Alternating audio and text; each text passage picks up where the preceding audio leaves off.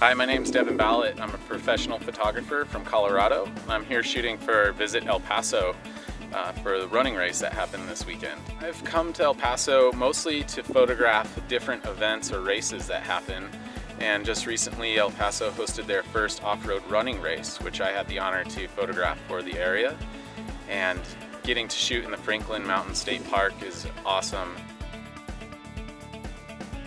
This is now my fifth time coming to El Paso. Um, the first thing that kind of brought me to this area was the uh, El Paso Puzzler and a bike race that happens every year in January.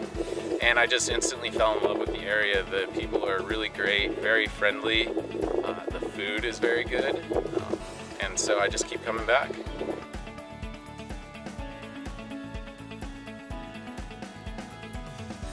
I'm Devon, and this is how I El Paso up.